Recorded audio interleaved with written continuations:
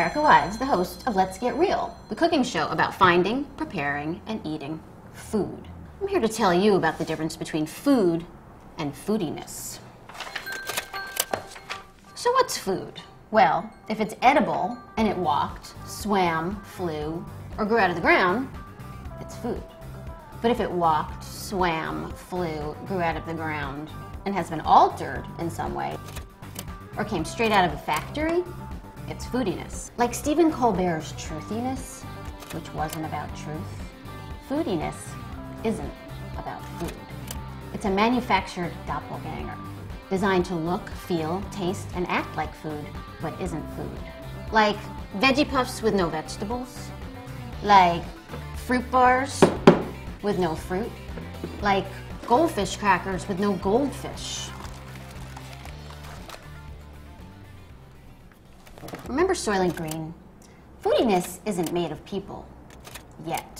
Think of it more like eating shoes. You know shoes aren't made out of food, so you wouldn't eat them, no matter how bad you've got the munchies. A walk down any grocery store aisle will show you that foodiness is incredibly convenient, while real food is really hard to find. Food has become inconvenient. And while growing your own vegetables, raising chickens, raising bees, being a locavore, getting a birth certificate for your beef sounds really cool and is great to post about on your food blog. For most of us, these solutions just aren't very realistic. That's where Let's Get Real, the cooking show about finding, preparing, and eating food, comes in. On Let's Get Real, I'll do the job for you of sifting out everything fake in the world of food.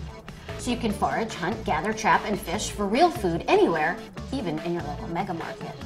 And you'll never unknowingly chow down on shoes again. No chicken coop required.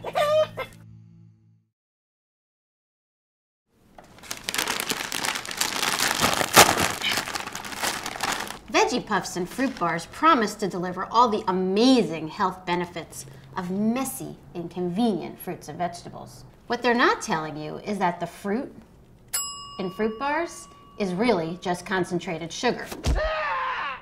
And that green sheen on your veggie puffs, that's just spinach dust, which is about as nutritious as actual dust.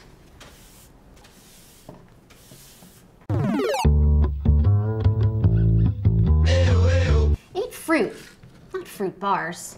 Vegetables, not veggie puffs. Yes, you might need a knife or a napkin or even a pot, but what can I say? Foodiness is convenient. Real food is inconvenient. But so are diabetes and early death, so it's probably worth the effort. Hi, y'all.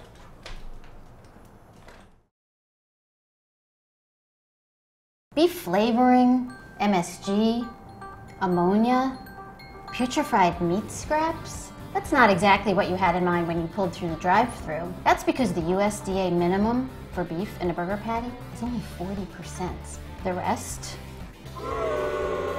And the beef itself has pesticide residues, antibiotics, hormones, not to mention that pesky E. coli we keep hearing about.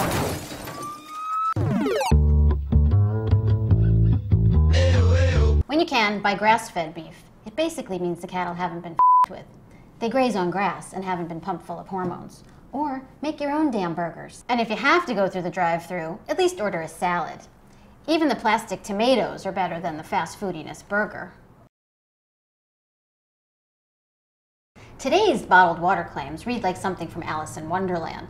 There's one to make you smart, one to make you skinny, and one to make you young. Even one to make you horny. Hey, Alice. What's really in those sexy bottles? Water, sugar, artificial coloring, basically the same thing you'd find in soda. If it comes in a bottle, don't drink it, unless it's booze. And P.S., water from the tap is already smart. And if you filter it into your own pitcher, it's brilliant. These days, everything you see is enhanced with all kinds of healthy ingredients like omega 3s, fiber, whole grains, calcium.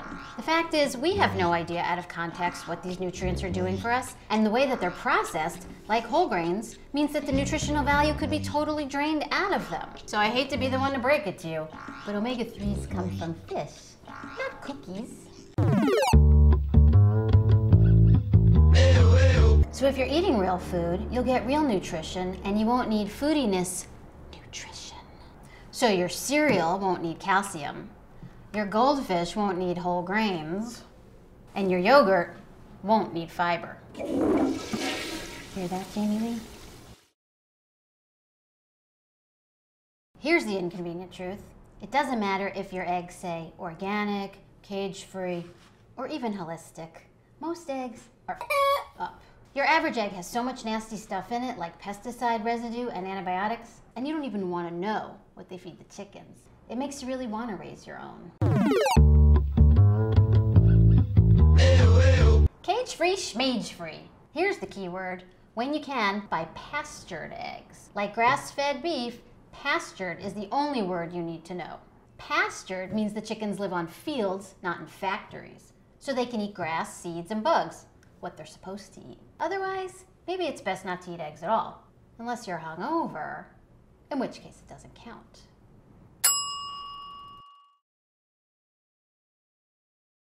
Whether it's frozen breakfast burritos, pre-grilled chicken patties, pre-made frozen scrambled eggs, or canned soup, pre-prepared foods are a foodiness firewall that ensure we never get to see real food, let alone know what to do with it. I don't care how many grandmas and how many farmhouse kitchens you might see in the commercial. Real food made from real ingredients does not come in a package.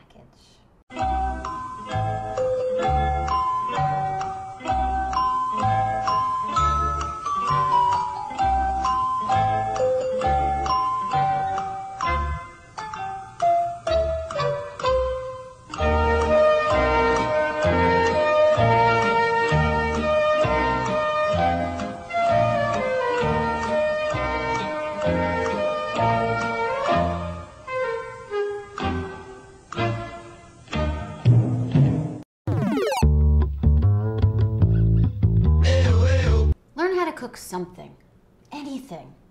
Trust me, you don't have to be a cook to know how to cook something basic like scrambled eggs or chicken. When the apocalypse comes and you don't know how to cook anything, you're gonna starve. And don't come knocking on my fallout shelter door.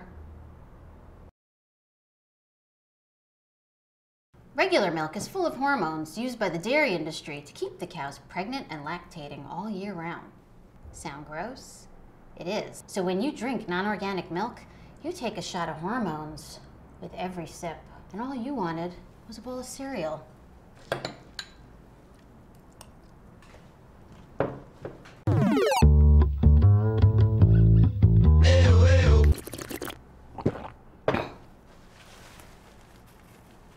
Well, sometimes the term organic is just a feel good foodiness bamboozle to cover up foods like industrially raised eggs. When it comes to milk, organic means there's no added female hormones. So just remember this non organic milk equals gonads gone wild.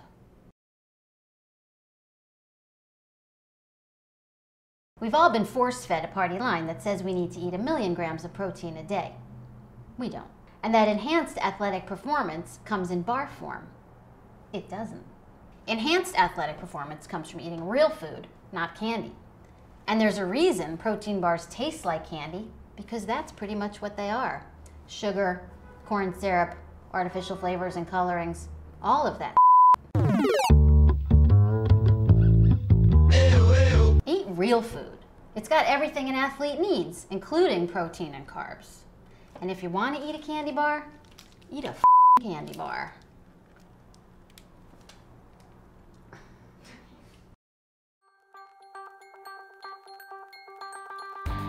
So if you don't want to eat shit, check out me, Erica Wides, on Let's Get Real, a cooking show about finding, preparing, and eating food. Bye, y'all.